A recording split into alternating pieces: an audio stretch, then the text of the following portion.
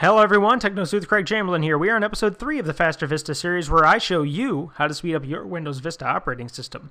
Now this episode is going to go relatively quick. The first thing we need to do is uninstall Norton or McAfee if those are the antiviruses you have installed. So go ahead and click on the Start button and then select Control Panel.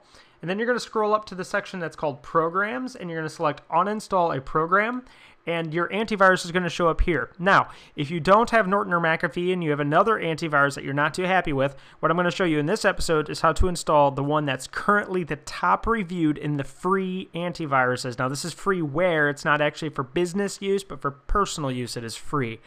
So if you're not happy with your antivirus or if you're paying for it, you can uninstall it here.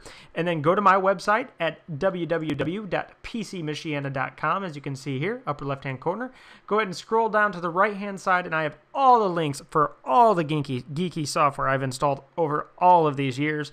But here I have the free antivirus software section, and number one is currently Avast and it is rated by avcomparatives.org as the number one antivirus. Let's go ahead and click on the link to download it. It's going to bring you to download.com. As you can see through the reviews, it's gotten excellent, excellent reviews. It's because it's awesome software. Select download now.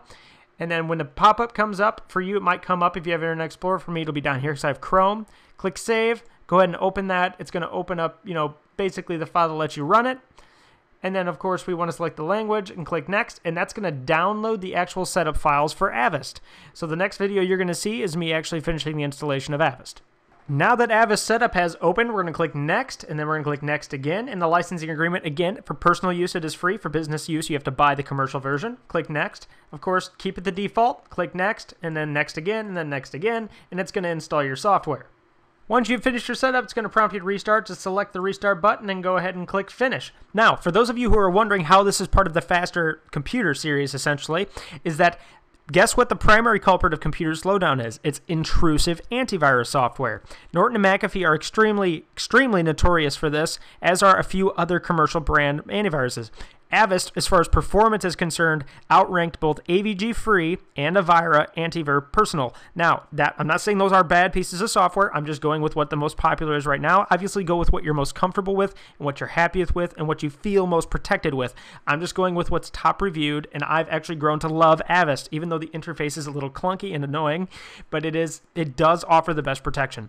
So that's all there is to this episode. As always, leave comments and ratings, and don't forget to subscribe. And also, if you haven't been to the website, you can uh, go ahead and scroll up there and go to pcmichiana.com and check out the forums. Join the forums. There's a lot of people, uh, well, not a lot of people there yet, but I'm there hanging out. We're talking about cool stuff. And, uh, share your videos, share your uh, life, you know, video games, movies, that kind of thing. As always, thanks for stopping by.